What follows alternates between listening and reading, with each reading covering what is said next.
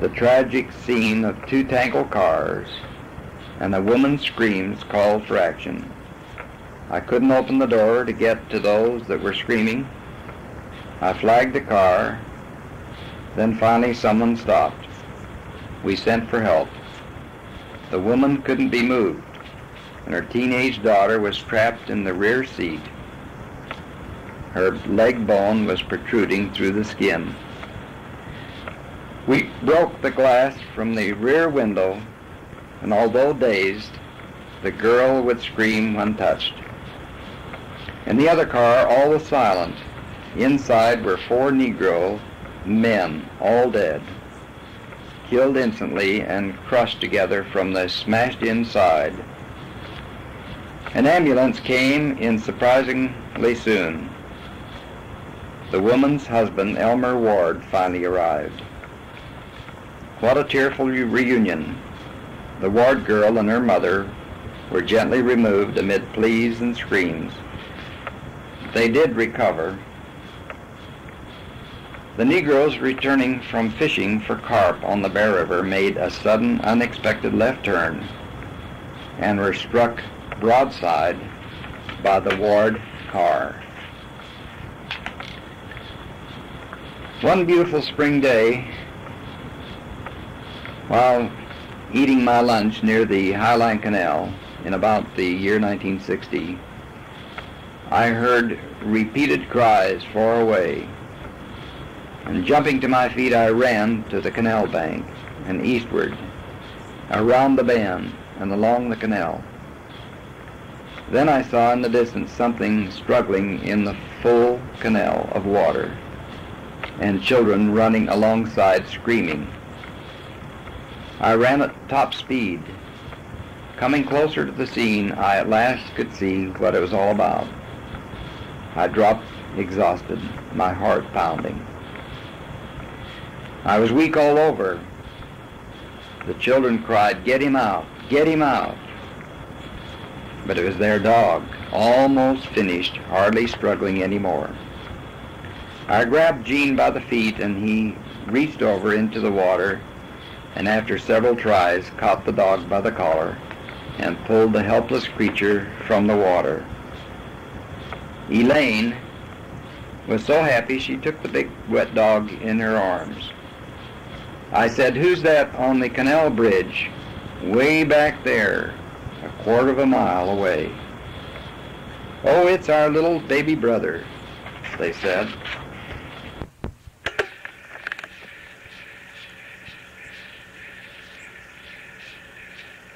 Challenges have always attracted my attention. If something new that shows possibilities that to improve existing methods appears, I become quite excited.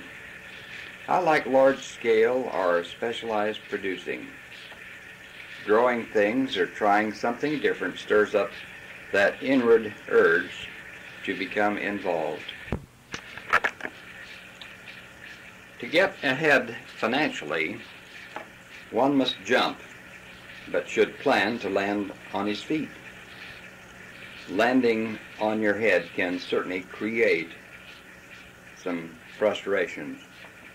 I haven't considered myself a speculator, but past performances that I've been involved in certainly may tend to argue otherwise. While teaching school, my first year in 1932 in the North Ogden Junior High School, a man who was involved in dredging for gold on the Green River approached members of the faculty.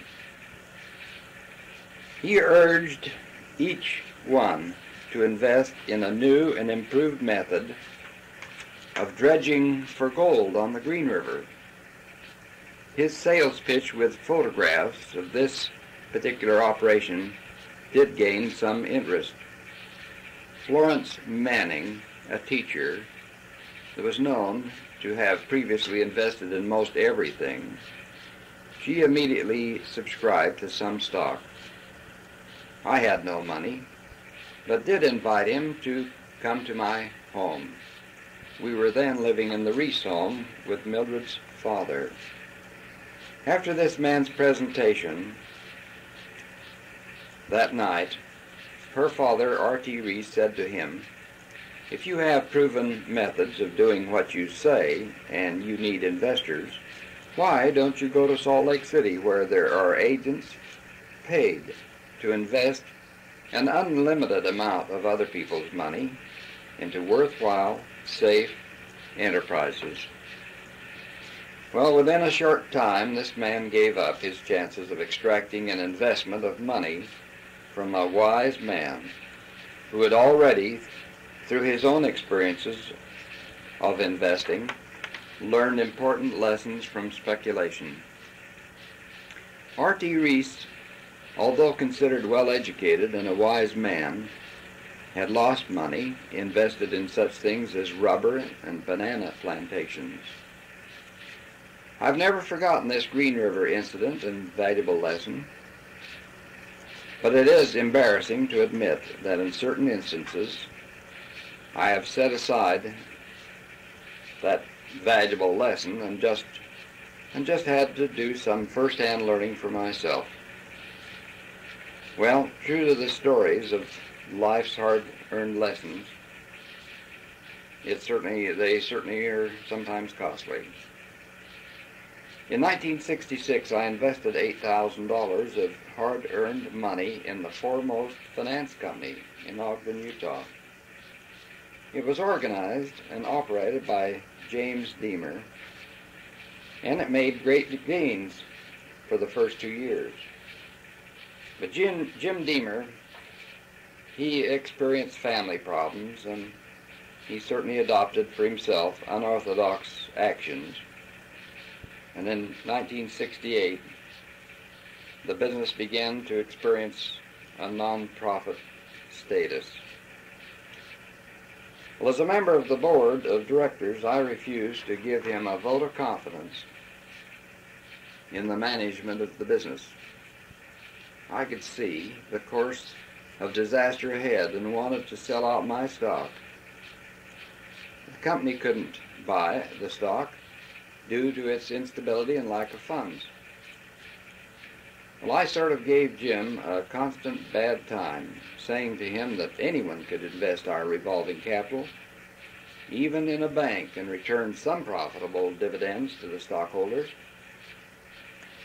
Somewhat, some way, uh, Jim, Jim Deemer raised the money and offered me 50% of my initial investment to get me out. This I gladly accepted. I was happy to get this offer. In the years following, the company folded up, and the other stockholders received very little from their initial investment.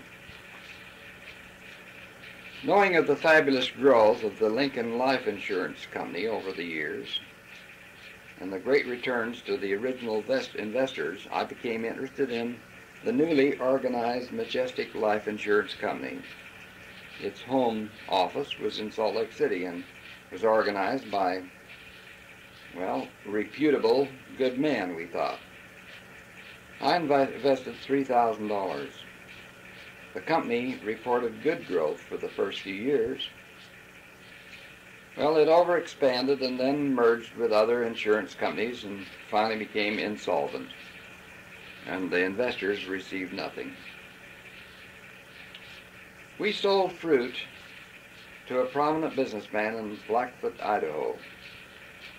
One season he offered me some Gold Ridge uranium stock for two large loads of fruit. Well, I had no previous desire to get uranium stock. I was quite skeptical of, of that. But this seemed a practical way to become involved without too much invested by me. This man by the name of Peterson was president of the Gold Ridge Mining Company and was a wealthy and ambitious owner of businesses and ranches in and near the town of Blackfoot, Idaho. In his efforts to force the successful operation of Gold Ridge uranium mines, Mr. Peterson finally lost all of his lands and businesses, and ended up, ended up in failure. I was glad that my involvement amounted to only a couple of loads of fruit. and certainly didn't uh, threaten my survival. In the 1960s, I invested heavily in mutual funds. They seemed the way to go for the inexperienced investor. At one time, I held stock in about 20 mutual funds. At that time, I built the self-service gas station at Monroe and 28th Street in 1966 in Ogden. I felt I should retire these funds and reinvest into something more tangible. This same year, I cashed in most of the funds and used the money to pay for this gas station. And right soon after this, stocks and bonds on the listed market were certainly feeling the effects of a recession. I was glad that I had sold when I did, with no mutual fund losses. The mutual fund of $5,000 with Investors Diversified Services I kept for a time. And later I exchanged it for, for um, uh, McCulloch oil stock, which at that time supported a big operation showing much promise at that time. In the many years since then, it has experienced many dry oil holes and in 1976, I was offered a settlement of less than $5 for my total stock, which cost me originally $5,000. I was hounded by a local broker to, in Ogden to invest in stock in the Property Trust of America. I finally subscribed to $3,000 worth of stock. This uh, company obtains property and bills for hotels and marketing companies, and then leases these out to various companies and chains. As of 1979, it is paying a small dividend to its stockholders. For a period of time, I had considerable holdings of uh, listed stocks on the market exchange. Ford Motor, Ludlow Carpets, Singer, and others did well. But I did buy high, and I finally sold high, which rewarded me with no actual profits and averaged out with really no losses. I had feared an economic downtrend, which really did happen. The most profitable money investments I've made have been with my son, David. Loans to him and stocks I've taken have steadily paid off as agreed. Never has there been a default or late return. The $5,000 invested in Grand Valley Partners has yet to be proven as a profitable one, but does show some promise. In summary, my advice to the novice, or the beginner, is this. A person should become involved in pure speculation only, only when he can afford to lose what is involved.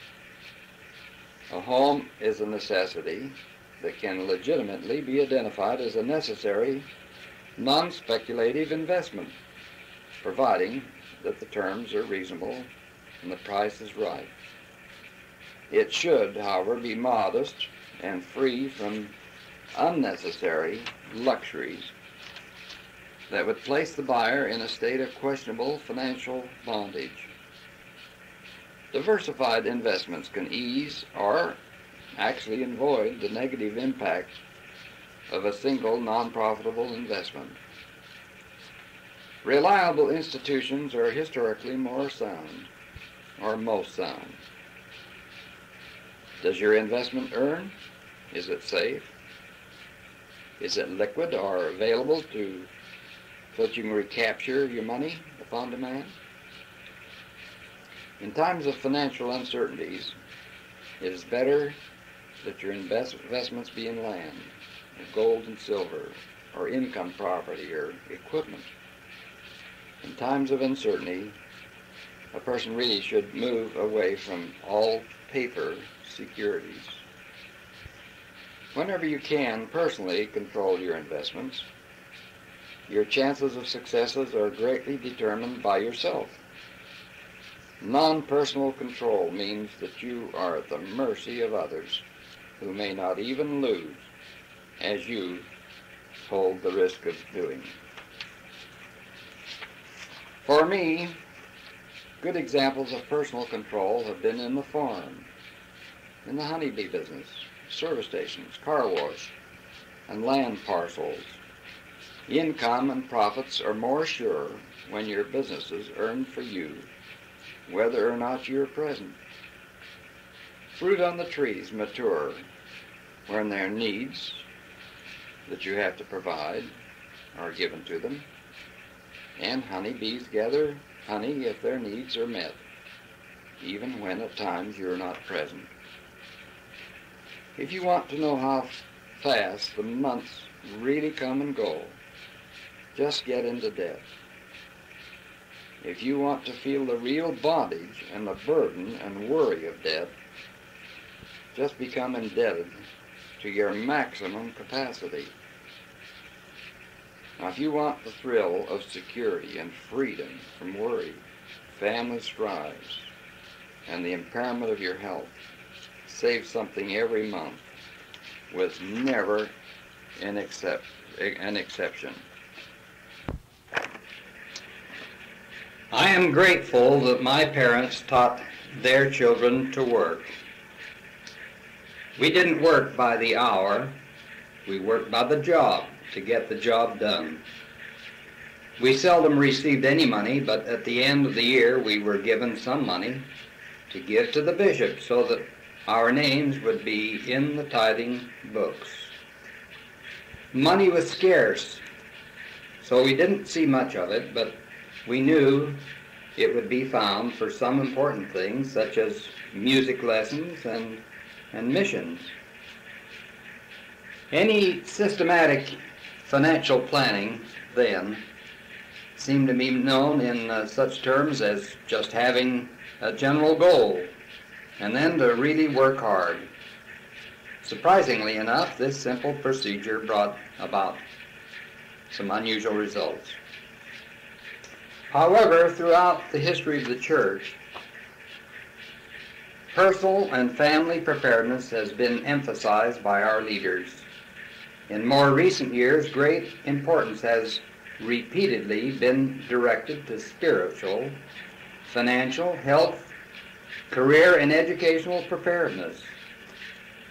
And since financial matters have a profound impact upon happiness and a well-ordered home in its it is imperative today that we minimize financial fears. Now, to do this, we must attain, then maintain financial preparedness. The Lord has outlined a simple formula to follow. Pay your tithes and offerings, get out of debt and stay out of debt. Regularly save something for future unexpected needs. And use your surplus funds wisely the Lord has revealed to us that this is the day for tithing of my people. And you find that in the Doctrine and Covenants, the 64th section and the 23rd verse. Compliance with the law of tithing opens the windows of heaven, bringing material and spiritual blessings through sacrifice and obedience. Tithe payers are blessed and prospered spiritually, physically, and mentally as well as materially. The Lord said in section 19 of the Doctrine and Covenants, the 35th verse, release thyself from bondage. Now, be financially and spiritually free. Live within your income Follow a well-ordered budget and regularly save a part of your income. It is good to establish credit, but use your credit wisely, if it is necessary to use it at all. Preserve your assets and savings through appropriate tax and estate planning. President Heber J. Grant said, quote, If there is any one thing that will bring peace and contentment into the human heart and into the family, it is to live within our means. If there is any one thing that is grinding and discouraging and disheartening, it is to have debts and obligations that one cannot meet. Unquote. Use your surplus funds wisely. A real test of a man is his attitude towards earthly possessions. A person who places earthly possessions in the scales against the things of God shows little understanding of eternal values. Brigham Young said, quote, When our people are prepared to properly use the riches of this world for the building up of the kingdom of God, he is ready and willing to bestow them upon us. I like to see a man like to see men get rich by their industry, prudence, management, and economy, and then devote it to the building up of the kingdom of God upon the earth. Unquote. This is from his Journal of Discourses. Abraham Lincoln said, that if you want to really break a man down, just get him into debt. This can ruin the man, his hopes, and his health more effectively than can anything else. Of all the men who have contributed in great measure to the blessing and wisdom of mankind, Abraham Lincoln, in my judgment, would stand out as one of the greatest. Here are a few quotes from this great American. He said, I don't know who my grandfather was.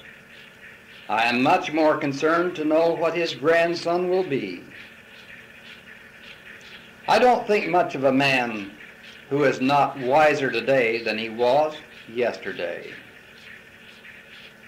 All that I am or hope to be I owe to my angel mother.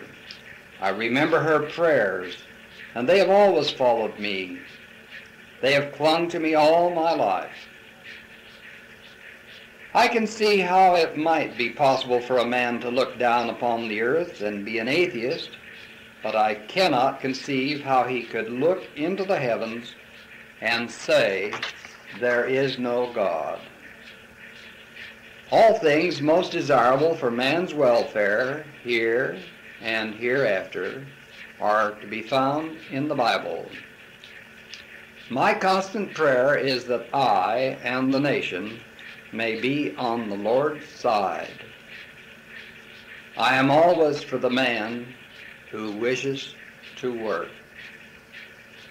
In this sad world of ours, sorrow comes to all, and to the young it comes with bitterest agony because it takes them unawares. The older have learned to ever expect it. I desire so to conduct the affairs of this administration that if at the end I have lost every other friend on earth, I shall at least have one friend left, and that friend shall be down inside of me die when I may, I want it said of me by those who know me best that I plucked a thistle and planted a flower when I thought a flower would grow. It is true that you may fool all the people some of the time. You can even fool some of the people all the time, but you can't fool all the people all the time. When one is embarrassed, usually the shortest way to get through with it is to quit talking or thinking about it and go at something else.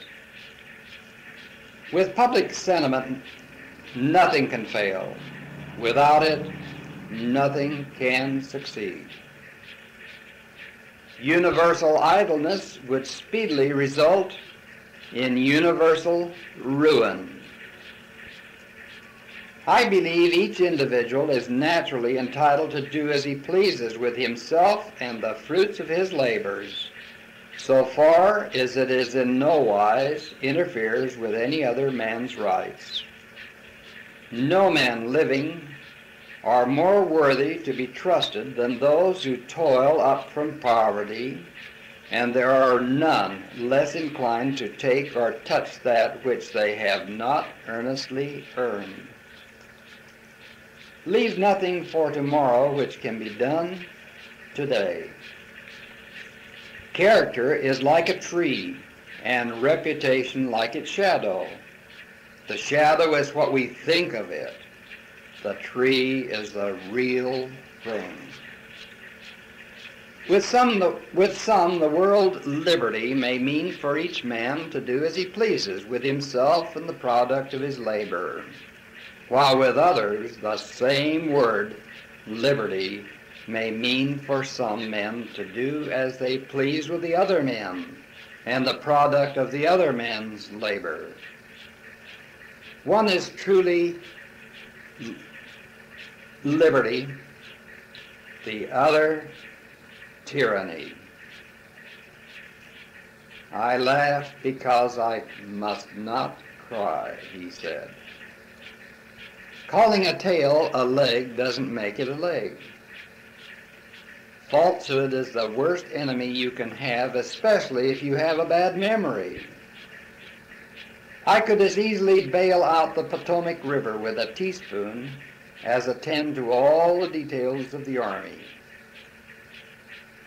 When I'm getting ready for a debate, I spend one third of my time thinking about what I am going to say and two thirds about what my opponent will say. He reminds me of a man who murdered both his parents, then pleaded for mercy on the grounds that he was an orphan. The Lord prefers common looking people. That's the reason he made so many of them. Better to remain silent and be thought a fool than to speak out and remove all doubt. A house divided against itself cannot stand. Let us have faith that right makes might, and in that faith, let us to the end dare to do our duty as we understand it. Without the assistance of that divine being, I cannot succeed. With that assistance, I cannot fail.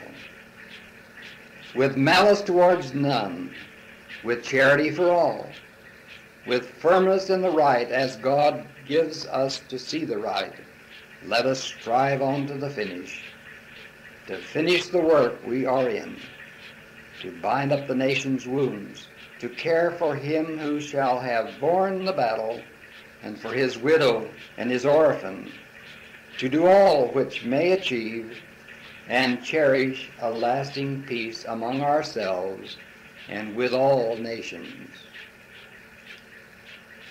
I can make a brigadier general in five minutes, but it is not easy to replace a 110 horses. It is not best to swap horses while crossing a stream. The foregoing are quotes from that great, great man, Abraham Lincoln. I believe we would have a greater America